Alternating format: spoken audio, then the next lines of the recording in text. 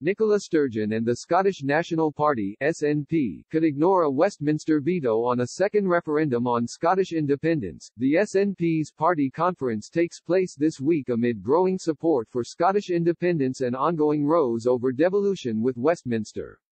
Prime Minister Boris Johnson fanned the flames earlier this month when he said devolution was a disaster. He later clarified his comments, claiming that he was referring to the way the SNP have handled devolution in Scotland.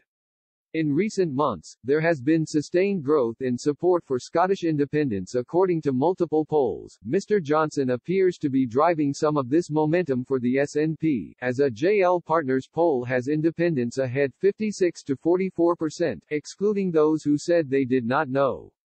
Crucially, the poll found 79% agreed that Prime Minister Boris Johnson is not the leader I want to have for my country. The Conservative government's headache in Scotland will likely persist if a motion approved for debate which has been included in the draft agenda for the SNP annual conference is to be believed. It says Ms. Sturgeon and co. will not accept a Westminster veto on Indy Ref 2.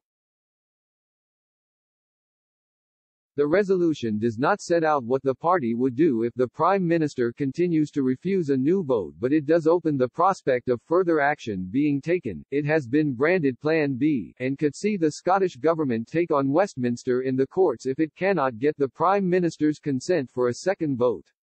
Scotland had an independence referendum in 2014, in which 55% voted to stay in the Union.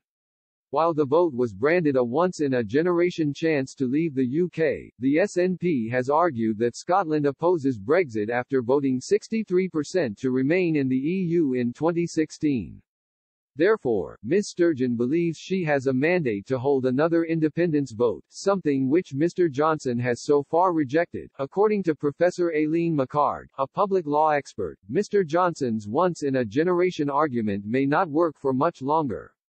She told Express earlier this year, what the government is saying is that the SNP said the 2014 vote would be a once-in-a-generation referendum, therefore we are going to hold them to that.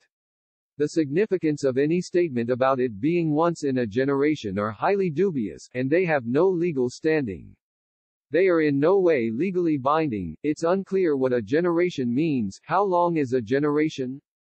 Professor McHarg said that if support for independence continues its polling surge, Mr. Johnson may find it increasingly difficult to stop a second vote.